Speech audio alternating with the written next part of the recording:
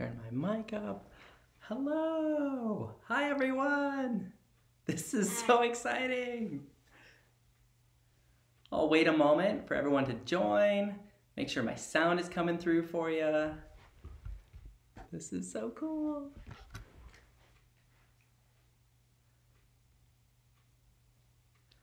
Hi, everyone. Welcome.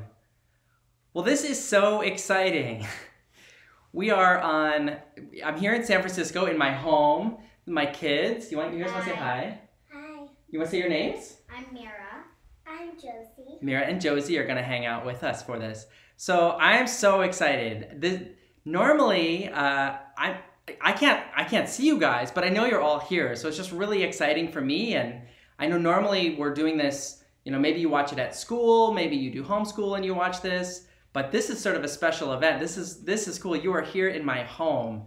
We are in San Francisco, California. This is week we're starting week 4 of sheltering in place in San Francisco. We started this a little bit before a lot of other people started sheltering in place. I can't even remember which day it is. I think it's like day 26 or something like that. I don't know. I haven't been counting. Yeah, we have some fun things planned. So we thought one thing we would do, since since a lot of you are in the same boat and you're sheltering in place at home, you're not able to go to school right now. We thought one thing we could do is we could do a little show and tell to start with, and show some of the fun things we're doing to have fun, to to not feel so cooped up in our houses while we're home and we're staying safe. So um, we'll do that. We're also going to do in a little while. We're going to do a fun activity, and I thought we'll end today by taking some questions. Are we ready to get started? Should we do it? Okay, so uh, show and tell. Fun things we've been doing around our house. We've been, so actually, let me show them, you guys. There's, if I switch to this, there we go. So, you know, rainbow, making rainbow drawings has been really popular as a symbol of keeping our spirits up, staying happy. And Mira and Josie have definitely been making rainbow chalk drawings. They did this one with um, blue tape as the outline. It's like stained glass. And then if I turn on that one, you can see some of the designs they got, like a heart. And if I do that one, that's the finished design they did for that. And so this is something fun you can do if you have chalk, or if you don't have chalk to make some rainbows and hang them up in your windows, or a fun thing that you can do. We have also been doing, let me switch to this. We have been doing some, we have a little dance party we do. And we don't normally do dance parties in our house, but we were starting to feel like kind of cooped up. And so every evening at seven o'clock, we just turn on some dance music and do a little dance party. I can show you a video of that. That's the one here where you didn't really want to be seen. Josie did some great twirls there. Yeah, cool. So that's something fun I recommend everyone try too. And we're very lucky because before all of this happened, before shelter in place, um, we we have our pets at home. We have our cat. He might make an appearance here. I don't know if he's going to run out. But we also have, um, which you might have seen in Mystery Doug before. We have the the girls call him Mr. Turtle. Yeah. He's technically a tortoise, and So so what? Who cares? Yeah. Same thing. same thing. There he is. He lives on land, and I brought him up into our living room. He's not normally in our living room. He has He's his normally own. in the garage. Yeah, he has his own little like enclosure in the garage. he gonna poop? I hope not. but there is Mr. Tortoise doing good, getting fed. What do you guys feed him every day? We feed. Um, we have the job of feeding our pets, and we feed him kale and lettuce. Sometimes strawberries for a treat. Mm, strawberries are like his favorite treat. He doesn't get them very often. But yeah, he's a vegetarian, so he loves any kind of leafy greens. We've And- been also feeding him mint. Mint a, leaves, we have yeah. a nice mint plant. Yeah. we've feeding him. Yeah, so he's doing good. And then we also have a special pet with us. Um, a lot of you out there, if you have like a class pet, you think about maybe one one student was sent home with the class pet. Sometimes that's like usually over like spring break or a weekend Or But- summer break. or summer break. But if you went home with the class pet now, you've got the class pet for a while, don't you? And that's our situation. We have the class pet as I well. I volunteered for my class pet. All right, do you, Since I've taken care of him many times. do you guys want to? Do you want to show him? Yes. Okay, here we go. You can't exactly pick him up, Dad. You can. Yeah, I can. Here, let me get him. Come here, Toady Toady. He's not. He doesn't really like to be.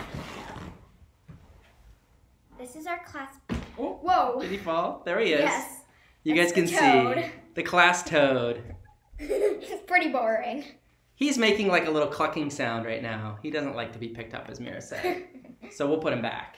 Woo! Don't jump! Don't he jump! wants to jump. Like, get me back into my cage. Yeah, but he's doing good. And Mira, you want to show them what you feed the toad?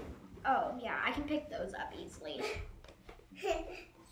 Disgusting stuff. You don't like this?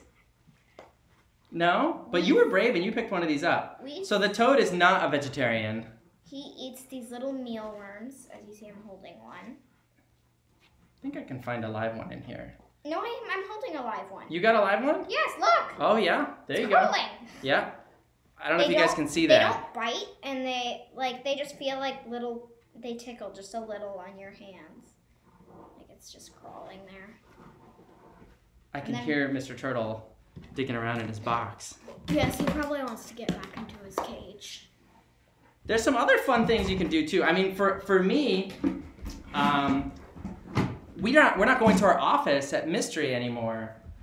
We're all working from home, and with working from home, that means we're using video conferencing. And I know a lot of students are learning to use video conferencing as well for the first time. But I there's just, I just got off a lesson and my morning circle that were just cramped like together, like just like nine minutes ago. Doing video conferencing? Yeah. Yeah. We, we were using Zoom, You were using Zoom. Some people are using Zoom. There's other services people are using for video conferencing. like um, FaceTime, Google Hangouts, Skype. Yeah. Skype, Yeah. Those are other ones. And and you know, there's some fun things you can do with video conferencing. So at work, I've been having a good time. So I'll show you. So for example, uh, you can change your background. I've tried the the uh, Golden Gate Bridge background to leave my house, which is nice. I can do uh, a nice Minecraft background there. Oh, how did you get that? I'm gonna do that sometime.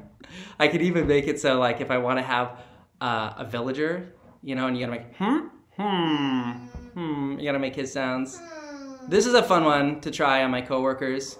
Like, wait, what's oh oh oh oh, it's a T Rex. Ooh, that's a little scary. If I want to do this one, I can even you know I can Whoa, I can- Academy of Science. I can feed him a little bit there. Here we go. so yeah, so you can have fun with video conferencing. My Oth- teachers are pretty strict about that, and they're not letting us do anything. No crazy backgrounds. No chat, no crazy backgrounds. You have to have your real background, your real name on the thing. Like they're pretty strict with that. Well, it's neat because on some of them it's like a green screen. So if you insert an image, it might be something you can play with on your own time. Um, other fun things we've done. Well, you know something funny you guys did to me, which is they were watching the Mystery Doug mini lesson we had about April Fools, and I'm pretty sure that is when you got the idea to play an April Fool's prank on me, and And mom. and um, I woke up on April 1st and I noticed there was no hand soap and there was no toilet paper anywhere. So let me see if I can find this. Well, that's not the picture there. Yeah, wrong picture. I don't think I have this picture. But there, all of the toilet paper was missing. And then I heard someone giggling and I found out. You want to tell them? I stuffed all the toilet paper and the hand soap in me and Josie's bathroom so we'd have plenty. So she hid the toilet paper on us. So teachers and parents watching this, if you know, my child chose at this moment in history to hide toilet paper, which was not lost on her. She thought that was very clever. Toilet paper. I did- out of toilet I did. I did laugh. But let's let's on that note, um, I thought something fun we can do today is a little activity using a material you might have around the house that's maybe not quite as precious as toilet paper. So this this activity is uh, if you have some aluminum foil, and it doesn't involve that much. You, you really only need just to rip a few sheets. And here's so I've done that here. And if you want to try this at home, you can either do it after this video, if you want to go grab aluminum foil right now. And um, kids, if you do this, the only really dangerous part is aluminum foil has like sort of sharp teeth in that. So you'll want to get a grown up to help rip a sheet off like this. But if you can just get them to rip like two or three sheets is all you need. And the thing you can do with aluminum foil that's really fun, you want to grab one? Yeah. Yeah. Here, I'll get this one. I think it might be really noisy, so when we do it, let's see. Let's actually, can we set it down just for one second? Yeah. What I'll do is I'll show everyone and I'll show you guys as well.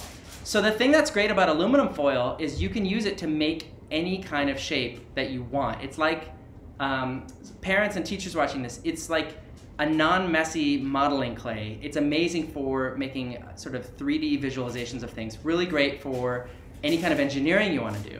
And I have to give credit to my friend Keith and his son Evan. They introduced us to this. So Keith has taught me some simple things you can do. Like let's say, here's a really simple thing you guys can do with one sheet. If you want to make like a pet snake, I know what I'm doing. all right, you go ahead and make whatever you want. I'm gonna make a simple snake. And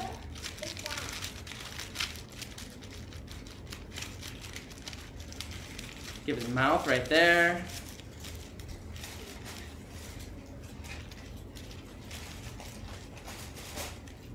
And then with that snake, you know, you can go sneak that into your parents under their pillow, scare them.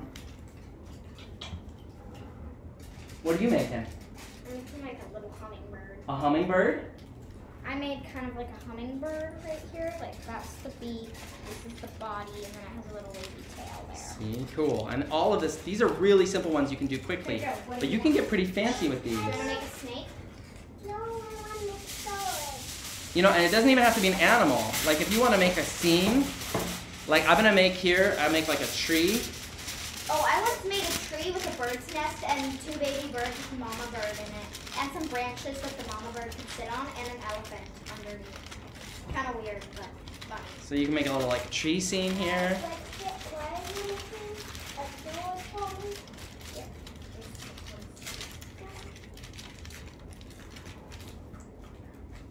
So I thought one thing we can do is my friend Keith and his son Evan, they actually filmed a video showing some of the creations they've made over the past few weeks using aluminum foil. What'd you make? So. You made a sword. It's actually pointing at there. Uh huh. You've gotta be careful with it. They're quite a bit better. Can I feel it? They're quite. They're more. They're better at making aluminum foil things, so you might see more um, detailed things over in that video. Should we go say hi to Keith? Let's do it. Hey Doug, it's Keith and Evan here. Just like, you want to say hi? Hi, I'm Evan. Evan loves to make things out of aluminum foil, so I invited him to show off some of his creations. What are some of your favorite animals you've made? Whoa, okay, which one do you want to show first? Let's, let's do this one. What's this?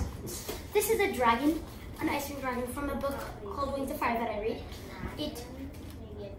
It's supposed to have a lot more spikes on it, but Look at that couldn't detail though. that. You've, you've got the feet here, you got Got that tail. spike- spikes on the tail. That's awesome. Alright, and the other one here? This this is my bird, What kind of bird is this? a peregrine falcon from a, and it's- it's also from a book called Frightful Sided Mountain, and that's the name of Okay, here. Can you perch on my hand there? You mean she. Oh, she, sorry. The wings also move. The head moves, and the beak opens. That's awesome. Talons can open and close. The feet can go up to the tail feather. Also, the tail feather can move like most birds. Okay, hey, we're back. That was awesome. Thanks for showing that, Evan.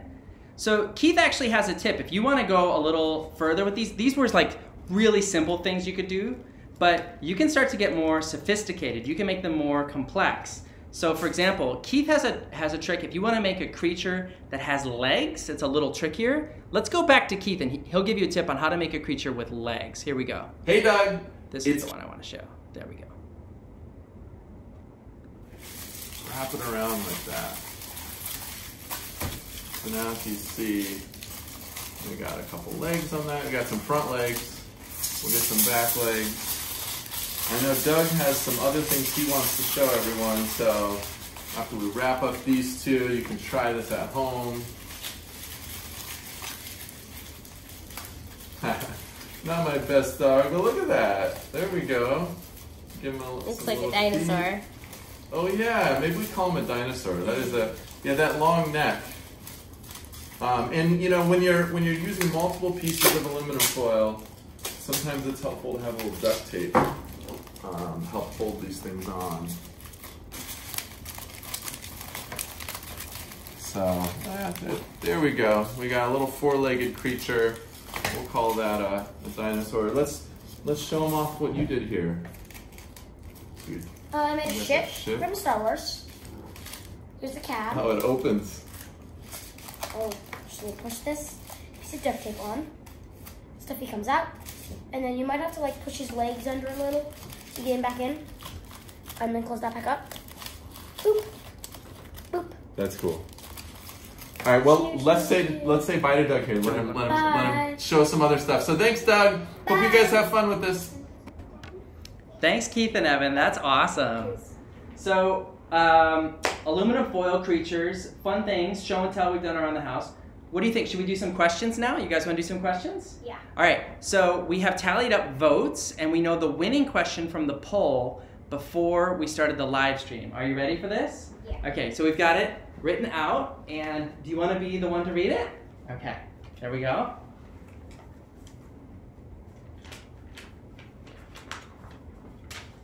The question for today is what's faster, a person or an ostrich? Ooh, I thought that one might win. Okay, so this is a great question. What's faster, a person or an ostrich?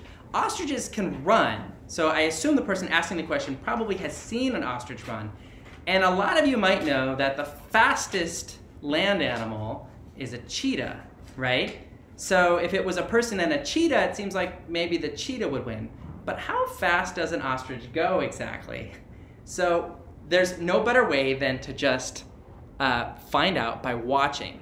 And I looked up videos of this on YouTube, and I found out that there's actually um, someone named Dennis, who's a former football player, who raced an actual ostrich. Are you ready to see this? All right, here we go. I might catch it. Go, go, go, go, go! Go!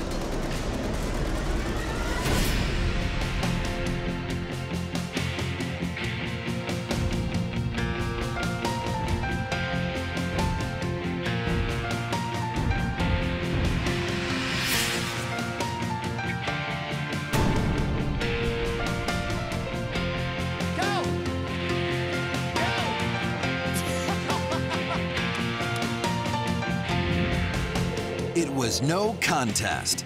The ostrich left Dennis in the dust without even trying.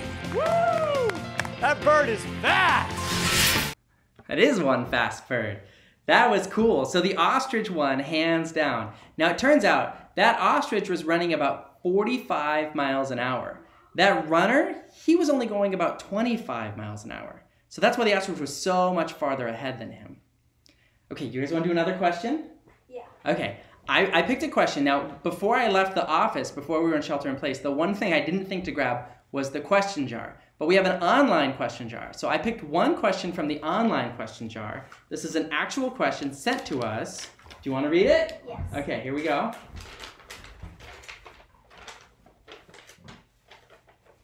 Someone named Jessica in um, fourth grade um, a question. She says, "Has anything like the coronavirus ever happened before?" Ooh, Jessica, that is a great question. To want to know, has anything like what's going on in the world today happened in the past? Now, this is really interesting because for me and for a lot of the adults in your lives, nothing like this has happened in our lives. So if, if we've seemed a little bit like what's going on, what's happening, that's why. And this hasn't even happened in the life of a lot of your grandparents and in some cases your great grandparents. Now, for me, my my grandpa, he's 98 years old. He's still alive, and I call him every night. And he and I were talking about this. Let me see if I can pull up some pictures here. Okay, there's my grandpa right there, riding on his exercise bike. And he's 98 years old, and he told me that he's never seen anything like this in his life either. But he was born in 1921, and just a few years before he was born, his brothers and his mom and dad, they did live through something like this. There was a different Wait, virus. what is it? Called the Spanish flu. It's called yeah, it's a type of flu. And and it was about so it was about 102 years ago.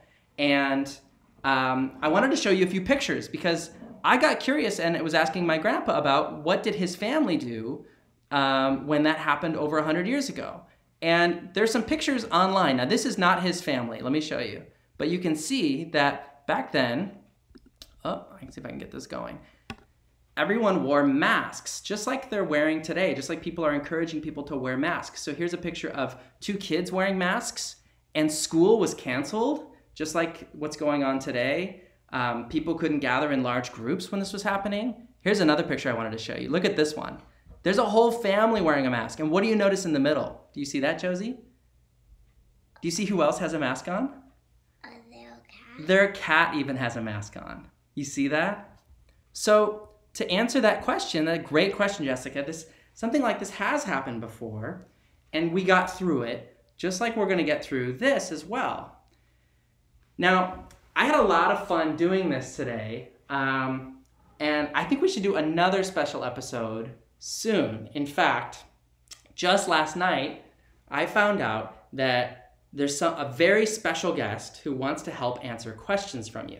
Now, I can't tell you who it is, it's a secret, but I can say that it's someone who's very far away.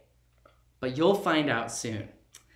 Still, it might be a few weeks before I see you all again. So, my friends and I at Mystery want to be here to still help answer your questions. So, here's something we can do in the meantime. I'm going to put three questions up on screen here in just a minute. And if you and your family want to vote for one of the ones that you want, we will send it to you tomorrow. Okay? Sound good? I'll put that up here in just a minute and I will say, have fun, everyone, and stay curious.